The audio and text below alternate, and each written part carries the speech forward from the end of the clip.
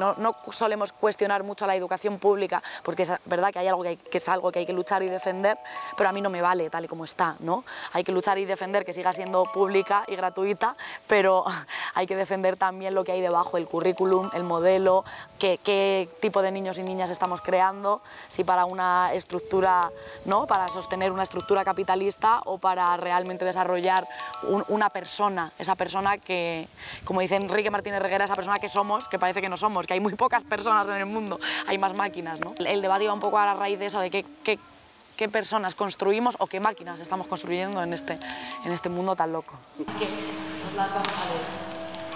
Libertad es cuando suena el timbre.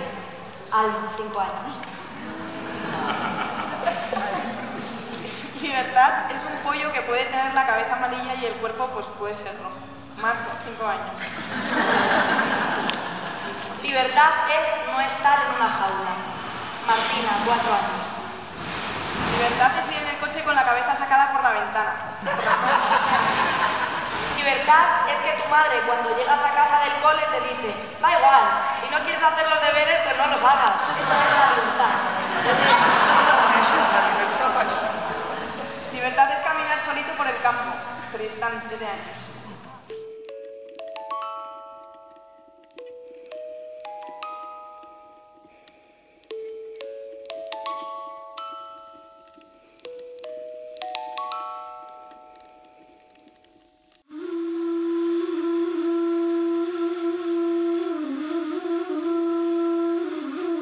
Soy Teresa y al Artín me ha traído la, gente preciosa que hace este encuentro, en concreto una de las organizadoras, Astrid, que es como otra parte de mi ser. Y bueno, llevan gestando esta semillita desde hace tiempo y yo lo, vi ahí nacer y crecer entre conversaciones, cafés, eh, ¿no? ratos que echábamos ahí hablando sobre el mundo rural, los pueblos, el, ocio de los jóvenes, de los adolescentes también, ¿no? porque hay algo como que en los festivales hay mucho de, de hacia afuera y poco de ir hacia adentro, ¿no? de, que bueno, es un modo y también está muy bien a veces solamente sacar así, pero esto para mí es, va más a la raíz, ¿no? al fondo. Y, y se crea una comunidad, se crea una familia, se crea una forma de vivir y de estar en el mundo. Y a mí eso es lo que cada año me trae al Artim, más allá de los cursos y las cosas que se hacen, que me parecen ¿no? el fondo y me parece genial, pero como el- la, la familia que se crea aquí, el ambiente, la, lo que se respira, ¿no? que, que es, no, se puede, no se puede decir en un vídeo, hay que como que, que verlo y- y vivirlo. ¿Cómo fue tu ruptura? Porque supongo que tú, si estás enamorada de esto, has tenido una ruptura con el sistema, con el sistema consumista, capitalista, neoliberal, llámalo como quieras. Bueno, yo creo que ya me venía de antes, ¿no? Ya era algo que estaba gestando que yo creo que incluso desde pequeña no me he sentido muy acorde, sobre todo con las normativas y la presión de la escuela, pero me salió así, ¡fum!, en el 15M. Yo viví el 15M, fui una de las que estuvo en esa plaza acampando eh, con, mi, con mi chalecito en la Puerta del Sol y estuve ahí el, el mes entero que, y ahí pues me- se me abrió, se me abrió otra manera de hacer las cosas y de repente te conectas con gente que pensabas a lo mejor que estabas un poco más perdida y sola porque no, no había tanta gente que viese, que tuviese tu idea de la justicia, ¿no? que para mí es muy importante compartir con personas mi idea de la justicia, que luego podemos tener variaciones, pero que haya una forma, ¿no? que, que- que miremos de una forma parecida y diferente, pero que haya una idea de la justicia ahí que, que compartamos es importante. Y eso me pasó en el 15M y desde entonces he estado, pues ya no he podido salir de los círculos de activismo, ocupación, mm, pedagogías alternativas, arte en la calle y un montón de cosas que han precedido a esa semilla que se sembró, que luego se expandió por las plazas, por las calles y por dentro de nuestros corazones hasta, hasta ahora que seguimos ahí en la lucha. Para centrarnos un poco en el tema de la educación, empezamos el otro día con una asamblea donde se reunió la gente y a mí me, me movió mucho porque son estas cosas que tú generalmente en tu ámbito doméstico lo comentas con la gente y eres un friki y sin embargo aquí te das cuenta que había un gimnasio lleno y que todos pensamos más o menos lo mismo acerca Claro, de es que aquí nos juntamos la mayoría de los frikis, venimos todos juntos aquí. Claro, venimos claro. todas aquí a... Sí.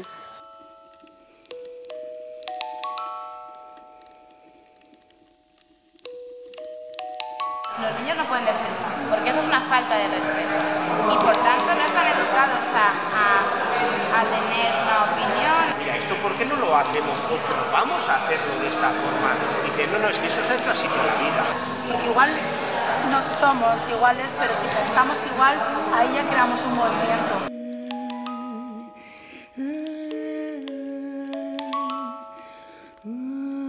Hay veces que hay gente que no consigue eh, liberarse de ese yugo y, se olvida totalmente del instinto y vive con su madre a los 60 años. No pasa nada.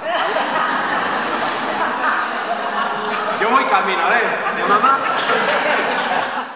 Y me gustó mucho las reflexiones que, que, se generaron y el debate. ¿no? El primer año que propuse la asamblea, que fue el año pasado, porque el primer año mm, no había, no había un espacio para, para, los niños y las niñas. ¿no? Entonces yo, yo que me dedico a la educación y a la pedagogía, eh, vi que había un par de... Había dos niños y, y, dije, uy, estos niños deberían tener su espacio, ¿no? Y si solo hay dos, ¿por qué será que solo hay dos? Porque hay familias, ¿no? Igual también si se enfoca y se les da un espacio a las niñas y a los niños, las familias vienen más y, y entonces vienen porque hay ese espacio para ellas. Eh, entonces eh, propuse, les pro, como tengo gente allegada de la organización, les, se lo comenté y propuse que para el año siguiente me, apetecer, me apetecía darles ese espacio a las niñas y a los niños del Artim. Ellos y ellas decidieron cómo quería que se llamase el, espacio, yo les hablé que de que era un espacio en libertad, hablamos sobre el concepto de la libertad, que para ellos qué era la libertad, ¿no? reflexiones muy interesantes, y, y entonces decidieron llamarlo eh, eh, varios nombres, no han decidido, entonces lo llaman de varios nombres. El pueblo libre es uno, uno de ellos, el hogar de los niños y de las niñas es otro, sí, y esos, esos dos son como los que más fuerza tuvieron al final, que me parece interesante, y también que el espacio está medio, la decoración está medio construir siempre, ellos pintan las vallas, ellos terminan de diseñar, ¿no? Para que sea suyo realmente, porque si no, está impuesto desde fuera, pero si ellos tienen la capacidad de transformarlo y de crearlo, es suyo. ¿Cómo lo hacemos? Queremos, tenemos educación pública por un lado que nos adoctrinan a los críos desde pequeñicos y nos les hacen robotes y por el otro lado tenemos una escuela libre que es elitista. ¿Cómo mm. nos lo montamos, tía?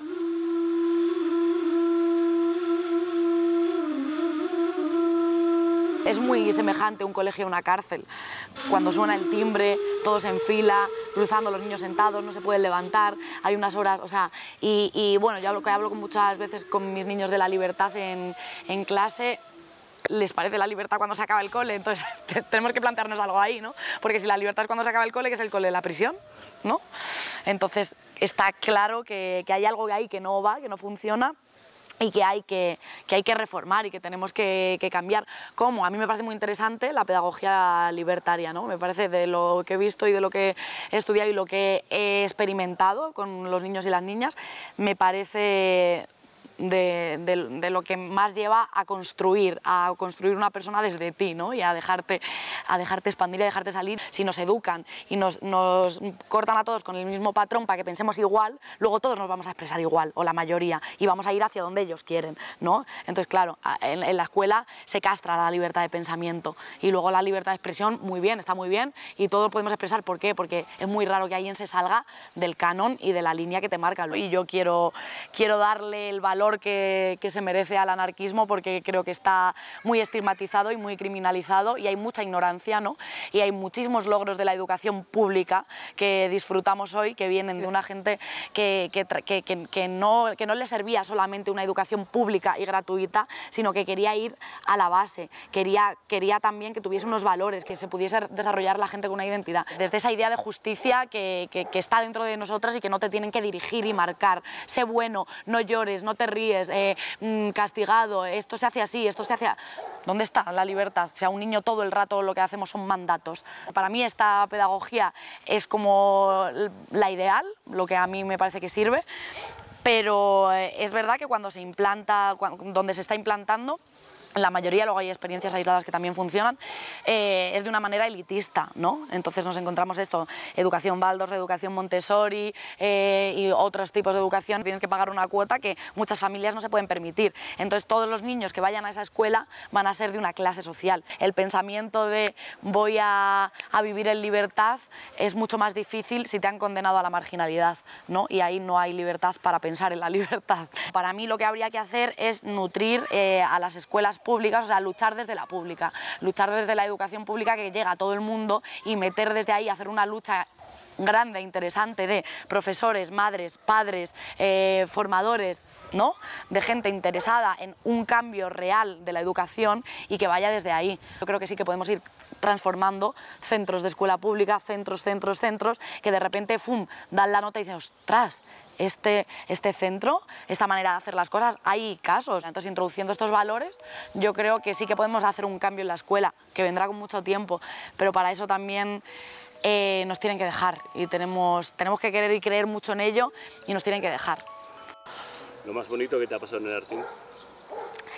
Lo más bonito que me ha pasado en el Artín, pues me han pasado muchas cosas bonitas, pero el otro día estábamos en el río unos cuantos niños y niñas ahí pintando piedras, ahí estábamos todos medio desnudos pintando las piedras con los pinceles y así, y una de las niñas estaba así muy contenta pintando su piedra y entonces estábamos en un momento de silencio, ¿no? cada una estaba pintando su piedra sin más y, de repente, después de un rato así en, silencio, como que se estaba creando algo, ¿no? había algo, hay una energía que se estaba creando. Se quedó así y dijo, la verdad es que estoy muy... Es medio argentina ella. Estoy muy contenta de estar aquí con ustedes. Gracias.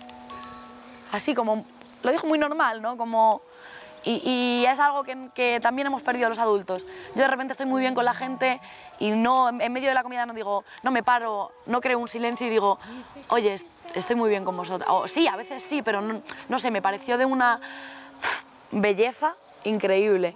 Y, buah, es que se me ponen como los pelos de punta. Me, me pareció muy bonito ese momento que creamos ahí desde desde el estar aquí y ahora y con la naturaleza y conectadas a nosotras y, y de repente se salen esas palabras bellas y bonitas de que, que, estamos juntas y estamos bien. Pues me voy a quedar con las palabras de esa niña. me voy a quedar con las palabras de esa niña porque yo creo que lo resume todo guay. Sí.